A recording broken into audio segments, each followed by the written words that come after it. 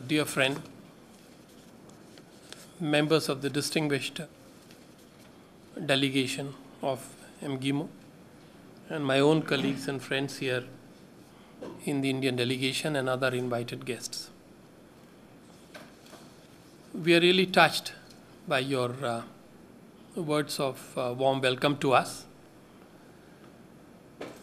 We are very appreciative of the kind words you have said about our institution. And like you, we truly believe that this is an important occasion for us to resume our dialogue between our two institutions. I think it is my privilege to lead uh, the Indian delegation of scholars to MGIMO ICWA conference on new contours of India Russia special and privileged strategic partnership in the beautiful city of Moscow. We bring to you all greetings and good wishes of India's strategic community, which is represented here by our members that belong to its different segments. And a little, later, I would be introducing them all to you. But I must say that we speak not for the government, but for academics, strategic experts, and all those who are interested in developing and crafting track two links between India and Russia. Our two institutions are of similar vintage as both were established in the 1940s.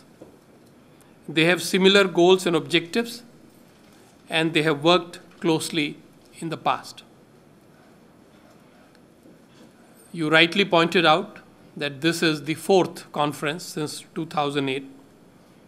There was a gap earlier, and I think one of the key decisions we should take is to ensure that such gaps do not occur because when dialogue gets disrupted, then understanding and friendship also get affected. We have been linked by an MOU on cooperation, and I'm very happy that even before it expires, we are going to formally renew it for the next uh, few years. We are, I must add, also scheduled to have a shorter dialogue with RIAC, uh, and later I would have an opportunity to address uh, a group of intellectuals at St. Petersburg State University. So clearly, our visit, in all its facets, has been structured to deepen and diversify the time tested and multi dimensional relationship that happily exists between India and, and Russia. We are driven by the mission to study, comprehend, and analyze the inner core of India Russia relationship and to promote its future potential. In this context, this conference, I think, is of considerable significance. We thank our gracious hosts for extending this invitation to us to undertake the visit, and we are really grateful for your generous hospitality as well as the excellent arrangements which have been made for our visit. Mr. Rector, allow me to talk now a little bit about our agenda, uh, our relations, and our expectations. The agenda for this conference has been crafted with due care through consultations in advance. The basic purpose of our dialogue for the next two days is to enhance our understanding of key aspects of the foreign policies of Russia and India in the larger context of rapidly changing strategic environment and the historical backdrop of convergences trumping divergences that mark our bilateral relations. This explains why the agreed agenda has four clearly marked sections, namely contemporary geopolitical and geo-economic scenarios, India-Russia partnership in the multilateral fora, regional issues, especially those affecting the regions that are of immense interest to both our countries, and finally, the characteristics, constraints, and prospects of our bilateral relations. It is our earnest hope that while designated speakers would make concise and incisive presentations on the specific topics earmarked to them, other experts and members of the audience will have ample opportunities to contribute to the discussions. We should aim to develop broad consensus on key conclusions through our comprehensive dialogue. I should add that we will be happy to cooperate with MGIMO in order to produce a publication containing texts of presentations as well as a report on the conference proceedings and conclusions. And uh, we have uh, Angira Sen Sharma, our young research scholar, who will be the nodal point for this purpose. So if you find that she is uh, chasing you to give her the text of your presentation, please rest assured she is doing under instructions. And I'm sure with full cooperation of yours. A word about our worldview. This dialogue, we hope, will contribute to a better understanding of the worldview held and articulated by each of the two countries.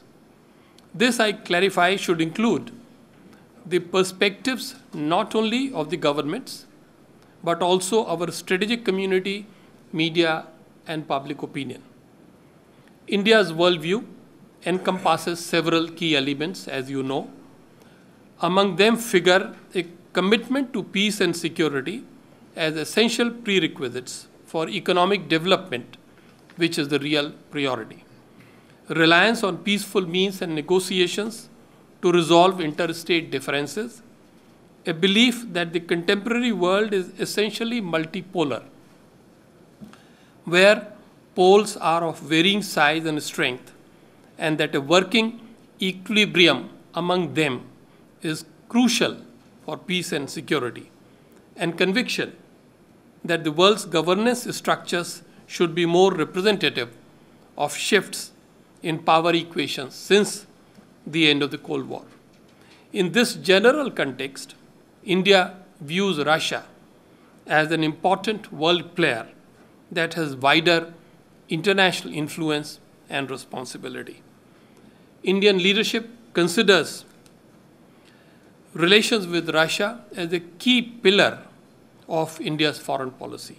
Hence, friendly and cooperative equations between our two countries have vital global, regional, and bilateral dimensions that we need to study and understand working together. Russia's worldview has changed considerably in past two decades or more. We know that there are a number of key elements to this world view of Russia.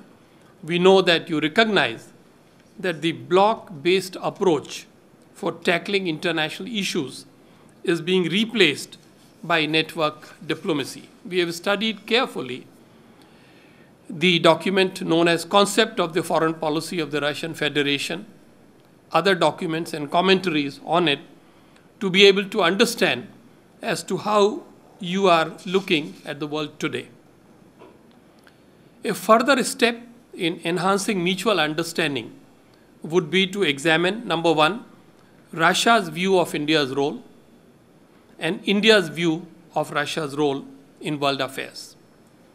On the former aspect, uh, we know that RIAC has recently noted that alongside the US and China, India has a rightful claim to the status of being a center of global influence. But it concluded that India Russia relations suffered from stagnation, a word you yourself used, uh, Mr. Rector. I also came across a thought provoking analysis by another Russian scholar who argued that India valued its independence and had the economic clout or capability to pursue an independent policy But he also took the view that India did not dare to pursue a really proactive policy. So, this is an idea that probably we would have a chance to discuss and give you some clarifications. He even went to the extent of saying that India is a discerning bride desired by all and concluded that Moscow still enjoys certain advantages in the competition for India. Similarly, we could assess India's views of Russia's role. It is noteworthy that Indian analysts cannot help comparing today's Russia with the Soviet Union of the past. Some of them may even point out that Russia is essentially interested in Europe and in its immediate neighborhood only. Nevertheless, they all view Russia as a crucial player on the world stage, a fellow emerging economy, a time tested friend with which India should continue to strengthen and consolidate its relationship. In fact, one of our key goals in this conference, as you rightly said, Mr. Rector, is to try and come up with tangible recommendations on this score for the consideration of policymakers. Towards the end, let me say a few words about India Russia relations as we see them today. India Russia relations have been free from bilateral disputes. They have been flourishing as a special and privileged strategic partnership. Their tenor and trajectory are molded not only by what the two countries do or do not do between themselves, but also by the pattern of relationships involving other major powers such as US, China, EU, and Japan. There is a need to study and investigate the impact of this factor on our mutual perceptions and cooperation. In this context, may I be permitted to make two points specifically concerning the multilateral setting. Firstly, India's interest in securing the permanent membership of UN Security Council is supported by Russia. But there is now an expectation that our Russian friends need to do more and be seen to be doing more in the desired direction. Secondly, concerning three other organizations, that is RIC, BRICS, and EAS, East Asian Summit, Russia and India could consider stepping up their coordination and cooperation, a path that would promote mutual benefit on a larger canvas. I am no expert on the bilateral relations, but we do have in our delegation experts who will talk in great detail about that aspect. But very broadly, Mr. Rector, let me say that we will go into details of the bilateral relationship also.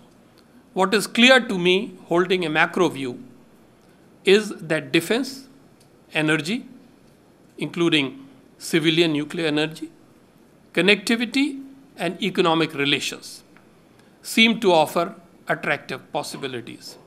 In these and other areas, our existing cooperation should rise to meet the optimal potential. On the trade and economic cooperation front, we could perhaps consider expanding our dialogue by including a few representatives of business and industry in future if that is acceptable. Besides, more cooperation in the area of public diplomacy, media links, tourism, and civil society connections could yield rich dividends, particularly, as you rightly said yourself, because public awareness in India about Russia of today is highly limited. Above all, dialogue involving strategic communities of the two countries needs to be expanded. As scholars, we recognize that India Russia relations are also influenced by internal political and economic developments. A discussion on this facet may have been desirable, but due to time constraint, it should take place only on the sidelines of our conference. Therefore, in the end, I express once again our appreciation and gratitude to the host institution, the esteemed MGIMO University. We also assure you that our delegation will play an active and constructive role in the deliberations that are about to follow. Thank you very much.